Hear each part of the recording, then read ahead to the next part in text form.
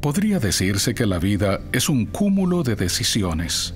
Si bien es cierto que estamos rodeados de personas y problemas, ellos no determinan nuestro curso.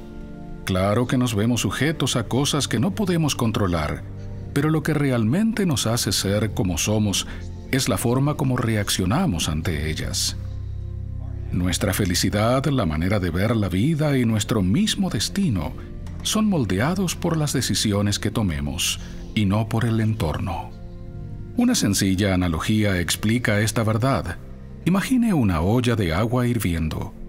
Si pone un huevo y una papa en el agua, después de un rato el huevo se endurecerá y la papa se ablandará. Aun cuando ambas cosas están en agua hirviendo, responden distinto. A veces la vida parece ser una olla de agua hirviendo, ¿cierto? En cierto momento, todos enfrentamos pesares y adversidad.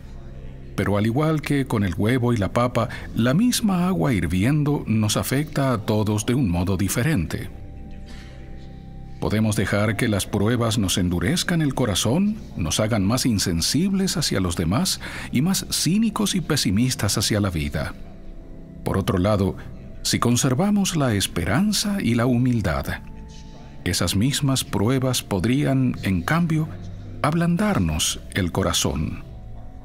Con el tiempo, seremos más compasivos con otras personas con similares retos, más pacientes, más misericordiosos y menos prejuiciosos, y veremos en nuestros desafíos oportunidades para identificar y corregir nuestras faltas. Entonces, no solo que nos habrá ablandado la prueba, sino que nos habrá hecho mejores.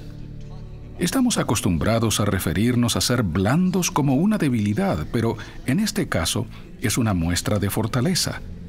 Es la decisión de vivir de tal modo que ni siquiera las peores dificultades lleguen a debilitarnos. Es una decisión de ver las pruebas no como un obstáculo a la felicidad, sino como un medio que nos permita ser más felices.